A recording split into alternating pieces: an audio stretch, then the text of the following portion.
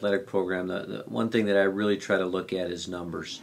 Um, we, we survive on three sport athletes or two sport athletes. I want kids to be involved in a variety of different things um, and get a number of different experiences. Consider myself as a recruiter, and uh, a lot of times we think recruiting of getting those top elite performers, and uh, I view myself a little different. I want those kids out that are going to get out and be part of an athletic experience. Your top kids tend to be involved and, and like to do those things, but I think there's so much to benefit from being involved in an athletic program that uh, to have a kid that maybe isn't your top athlete but gets some of those experiences of uh, having individual success on a track or being part of a team and understanding what teamwork is about.